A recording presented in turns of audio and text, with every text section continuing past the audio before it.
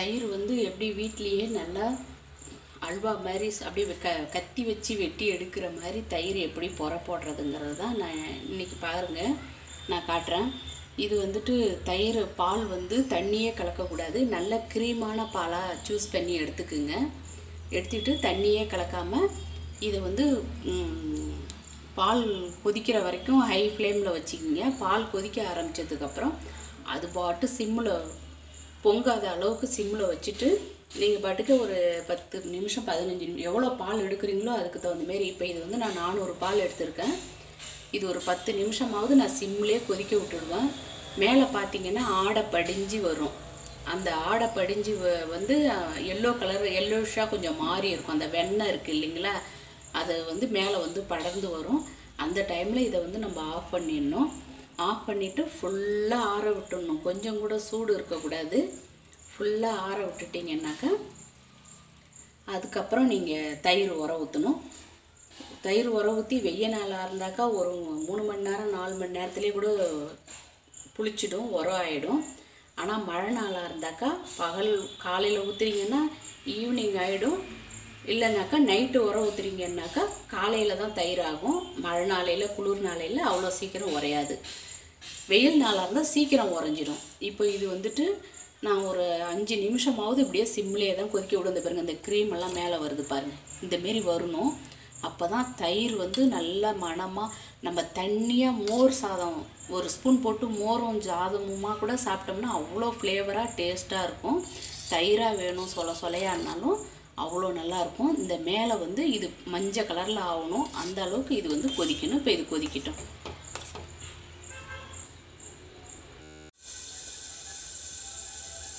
பாருங்கள் மேலே அந்த எல்லோ கலர் வந்துருச்சு. பாருங்கள் இந்த ஆடை படிஞ்சு எல்லோ கலர் வந்துருச்சு. நான் நானூறு பால் இரநூறு பால் ஆகிற அளவுக்கு நான் வந்து இதை சிம்லேயே வச்சு காய்ச்சிருக்கேன். இப்போ வந்து நம்ம இதை ஸ்டவ் ஆஃப் பண்ணிடலாம்.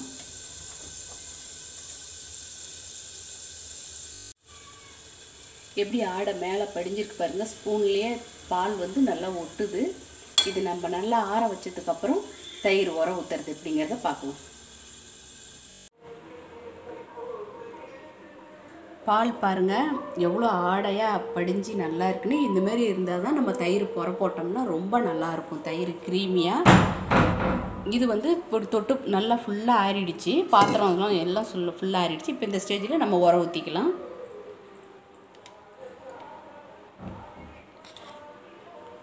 இவ்வளோ தயிர் போட்டால் போதும்.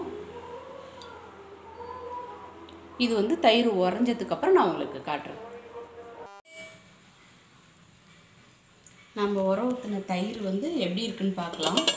ஒரு நாள் நைட்டு விட்டுட்டேன்.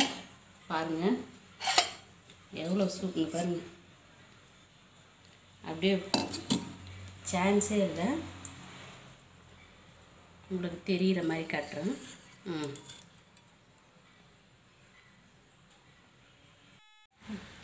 தயிர் பார்த்தீங்கன்னா ஃப்ளேவர் அப்படியே அள்ளுது. அவ்வளோ நல்லா இருக்குது சொல சொலையாக தயிர். இந்தமாரி நீங்கள் பால் காய்ச்சி தயிர் உர ஊற்றுங்க இந்த மாதிரி மெத்தடில் நீங்கள் தயிர் உர ஊற்றுனீங்கன்னா நல்ல க்ரீமியான பாலாக எடுத்து நல்ல காய்ச்சி ஏடப்படியாக இந்தமாரி தயிர் உர ஊற்றுனீங்கன்னா ரொம்ப நல்லாயிருக்கும் நீங்கள் ஒரு ஸ்பூன் நாலு ஸ்பூன் போட்டு சாப்பிட்ற இடத்துல ஒரு ரெண்டு ஸ்பூன் போட்டு சாப்பிட்டீங்கனாலே ஃப்ளேவரும் டேஸ்ட்டும் அவ்வளோ நல்லாயிருக்கும். ட்ரை பண்ணி பாருங்கள்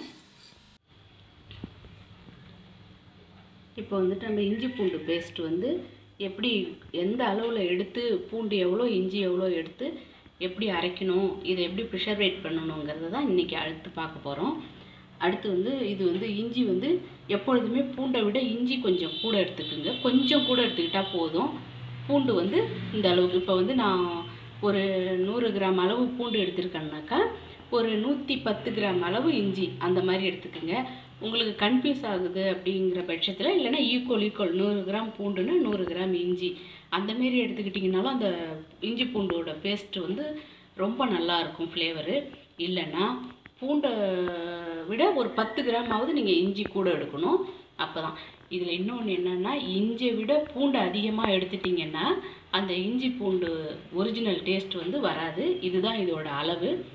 இதை வந்து நல்லா நீங்கள் தோலோடையே அரைச்சிக்கலாம். நல்ல ஜ மிக்சியாக இருந்ததுன்னா நல்லா ஃபைன் பேஸ்ட் ஆகிடும் உரிச்சிட்டு தான் நல்லா வாஷ் பண்ணிவிடுங்க ஒரு டைமுக்கு ரெண்டு டைம் நல்லா பெசரி வாஷ் பண்ணிவிட்டு அதுக்கப்புறம் நீங்கள் இதை வந்து அரைச்சிக்கலாம். இப்போ இதை நான் மிக்ஸி ஜாரில் போட்டு அரைச்சிக்கிறேன்.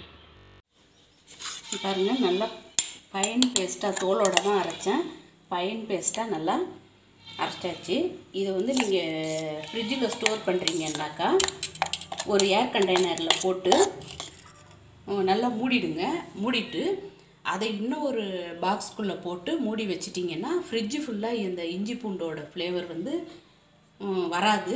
இல்லைன்னு வச்சிங்க நீங்கள் மூடி லூஸாவோ இல்லை இன்னும் ஒரு டப்பிக்குள்ளே டப்பி போடாமலோ வச்சிட்டிங்கன்னா எனி டைம் நீங்கள் ஃப்ரிட்ஜு திறக்கும் போதெல்லாம் இஞ்சி பூண்டு ஃப்ளேவராக தான் இருக்கும். அதை அவாய்ட் பண்ணுறதுக்கு ஒரு ஏர் கண்டெய்னர் நல்ல இறுக்கமானதாக பார்த்து எடுத்துக்குங்க.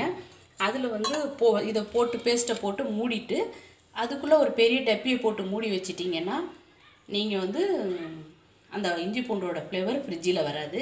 இதேமாரி நீங்கள் மல்லிகைப்பூவையும் அந்தமாரி வச்சிங்கன்னா தான் மல்லிகைப்பூவும் வந்து மல்லிப்பூவோ முல்லைப்பூவோ வந்து அந்த வாசனை ஃப்ரிட்ஜ் ஃபுல்லாக வராது. டபுள் கவர் போட்டு டபுள் இது போட்டு. இல்லைன்னா ஃப்ரிட்ஜு ஃபுல்லாக இந்த ரெண்டு விஷயங்களும் நீங்கள் வச்சிங்கன்னா ஃப்ரிட்ஜ் எப் எனி டைம் நம்ம ஃப்ரிட்ஜை திறந்தால் இதுதான் நம்ம ரொம்ப டாமினேட் பண்ணோம். இப்போ இதை நான் வந்து இ- இன்னொரு விஷயம் இதை வந்து நீங்கள் ப்ரிஷர் வெயிட்டிங் பண்ணுறீங்க ஃப்ரிட்ஜில் ஸ்டோர் பண்ணுறீங்கன்னா ஒரு ஒரு வாரம் எதுவுமே ஃப்ரிட்ஜில் ஸ்டோர் பண்ணுறத வந்து ஒரு ஒரு வாரம் பத்து நாளைக்கு மேலே வச்சு யூஸ் பண்ணாதீங்க. இது ஒரு வாரம் பத்து நாள் வச்சு யூஸ் பண்ணிக்கலாம். இப்போ வந்து நம்ம இதை உங்களுக்கு இன்னும் கொஞ்சம் அதிக நாள் போடணுன்னா ஒரு கல் உப்பும் ஒரு கால் டீஸ்பூன் மஞ்சள் பொடியும் சேர்த்து ப்ரிஷர் வெயிட்டிங்க்கு நீங்கள் அரைச்சி கூட ஸ்டோர் பண்ணிக்கலாம். ஒரு எக்ஸ்ட்ரா ஒரு அஞ்சு நாள் பத்து நாள் வேணும்னா. அது கிருமி நாசினிங்கிறதுனால அந்தமாரி நீங்கள் ட்ரை பண்ணி பாருங்கள் அடுத்த டிப்பு பார்த்தீங்கன்னாக்கா புதினாவை நீங்கள் நிறைய புதினா வாங்கிட்டீங்கன்னா நம்ம உடனே அதை சமைக்க முடியாது. ரெண்டு நாளைக்கு சட்னி வைக்கலாம் இல்லை பிரியாணி எது எது வேணாலும் நம்ம யூஸ் பண்ணால் இப்போ உடனே உடனே அது காலி ஆகிடும் இல்லை உங்களுக்கு வந்து நிறைய வாங்கிட்டீங்க பெரிய ப கட்டாக வாங்கிட்டீங்க கீரை மாதிரி அப்படின்னா அதை வந்து பேஸ்ட்டாக அரைச்சா ஒரு பத்து நாளைக்கு எப்படி ஸ்டோர் பண்ணிக்கலாம் அப்படிங்கிறது தான் இப்போ நான் உங்களுக்கு சொல்ல போகிறேன் இந்த மாதிரி புதினாவை வந்து நல்லா க்ளீன் பண்ணி மண் இல்லாமல் ஒரு டைமுக்கு நாலு டைம் கீரை க்ளீன் பண்ணுற மாதிரி க்ளீன் பண்ணி வாஷ் பண்ணி தண்ணி இல்லாமல் எடுத்துக்குங்க. அது கூட நீங்கள் மல்லி இலை இருந்தாலும் இந்த மல்லி இலையும் இந்தமாரி வாஷ் பண்ணி எடுத்துக்கோங்க. எடுத்துட்டு உங்களுக்கு காரம் எவ்வளோ உங்களுக்கு அதிக காரம் வேணும் நல்லா காரம் சாப்பிடுவீங்கன்னா அதுக்கு தகுந்த மாதிரி நீங்கள் பச்சை மிளகா எடுத்துக்கலாம். காரம் வந்து உங்களோட சாய்ஸ் தான். அதை போட்டுட்டு ப்ரிஷர்வேட்டிங்க்காக நம்ம வந்து எலுமிச்சம் ஜூஸ் கொஞ்சம் போட்டுக்க போகிறோம் தேவையான அதாவது இதுக்கு தேவையான அளவு உப்பு போடாதீங்க. கொஞ்சமாக எல்லாம் ப்ரிஷர்வேட்டிங்க்காக தான். ஒரு அரை கால் உப்பு கொஞ்சமாக எலுமிச்சம்பழம் காரம் வந்து உங்களுக்கு தகுந்தது. இதை இந்த மாதிரி எலுமிச்சம் ஜூஸை வச்சே நல்லா தண்ணி இல்லாமல் அரைச்சி தண்ணி ஊற்றாமல் எலுமிச்சம் ஜூஸ்லேயே நீங்கள் நல்ல பேஸ்ட்டாக அரைச்சி ஸ்டோர் பண்ணிக்கிட்டிங்கன்னா ச நீங்கள் புதினா சட்னிக்கு வேணும்னாலும் சட்னிக்கு கொஞ்சம் ரெண்டு ஸ்பூன் வேணுங்கிற அளவு எடுத்துக்கலாம். நீங்கள் எது எதுக்கெலாம் புதினா இப்போ பிரியாணிக்கு வேணுனாலும் பேஸ்ட்டாக ரெண்டு ஸ்பூன் போட்டுக்கலாம். சாட் ஐட்டம் செய்கிறீங்களா அதுக்கு க்ரீன் சட்னியாகவும் நீங்கள் தயிர் கலந்து அந்த மாதிரியும் யூஸ் பண்ணிக்கலாம். எது எதுக்கெல்லாம் நம்ம புதினா சேர்ப்போமோ அப்போல்லாம் ரெண்டு ரெண்டு ஸ்பூன் பேஸ்ட்டாக சேர்த்துக்கலாம். இப்போ நான் அதை தான் இன்றைக்கி அரைக்க போகிறேன் இது மாதிரி அரைச்சி ஒரு ஸ்டோரேஜ் பாக்ஸில் போட்டு நீங்கள் ஸ்டோரேஜ் பண்ணிக்கலாம். நிறைய அரைச்சிட்டிங்க அப்படின்னா இந்தமாரி சின்னதாக ஒரு பாக்ஸில் போட்டுக்குங்க. கை அடிக்கடி கை வைக்காமல் இருந்தால் சீக்கிரம் கெட்டு போகாமல் ஃப்ரிட்ஜில் வச்சா கூட சீக்கிரம் கெட்டு போகாமல் நல்லாயிருக்கும் இந்த மாதிரி எடுக்கும்போது ஒரு ஸ்பூன் வச்சு நீங்கள் கொஞ்சம் கொஞ்சம் இதில் எடுத்துக்கிட்டிங்கன்னாக்கா ஸ்டோர் பண்ணி வேணுங்கிறதுக்கு உங்களுக்கு எதுக்கெல்லாம் யூஸ் ஆகுதோ அதுக்கெல்லாம் நீங்கள் இதை யூஸ் பண்ணிக்கலாம்.